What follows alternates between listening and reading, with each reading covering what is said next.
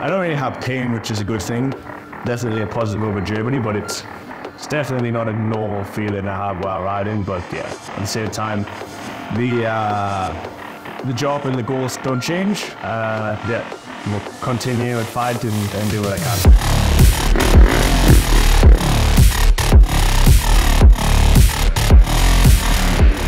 What's up? We're here in Romania, round four, SuperEnduro. Just got done with the first practice. Track is very, very, very tight. Technical, basically a trial section to be honest. So yeah, a few changes to the bike, try and uh, yeah, make it a bit smaller, a bit more easier to maneuver. Um, but yeah, not too bad. Reasonably happy with the practice, minus one dab of the left leg, uh, which hurt and has really ruined my mood to be honest, but we'll survive.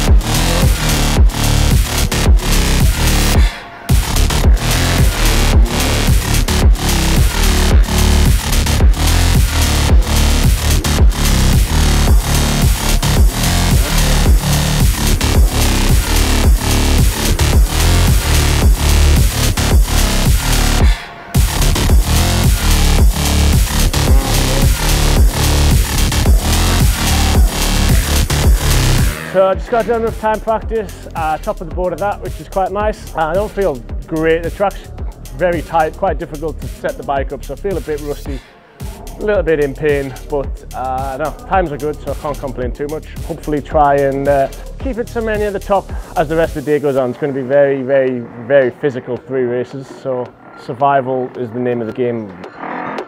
So say before practice we went to a 52 sprocket, we normally run 51. We've actually gone back to a 51 for the second practice um, because the track is just so tight. Hopefully you can just ride it in, in one gear.